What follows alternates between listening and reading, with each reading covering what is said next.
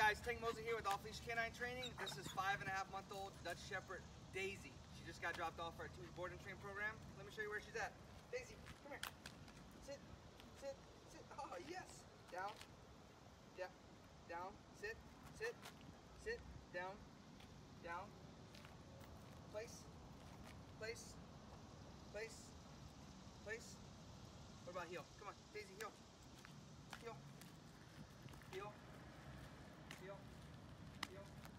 Heel.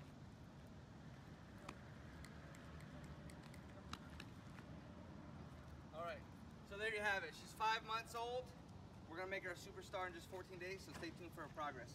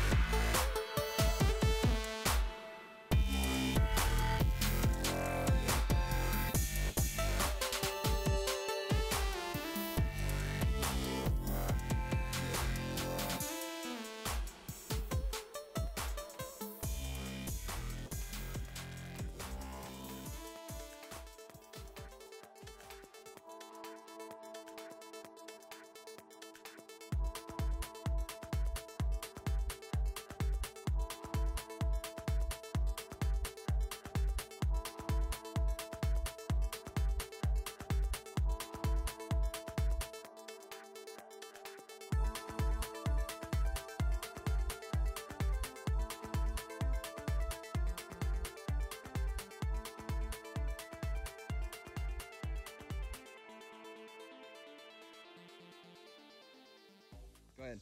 All right, I just got Daisey back from off leash, and when I just got her back, I'm here, and it's a night and day difference. Uh, she, I would walk with her, and she would always be distracted. She was always going after other dogs. Now she sits by my side. She, uh, ever since she's been gone, I get like a couple day uh, checkup with the trainer who sends me videos. I felt definitely comfortable with her, and I felt like any answer that I asked was answered quickly. So I'm all for it.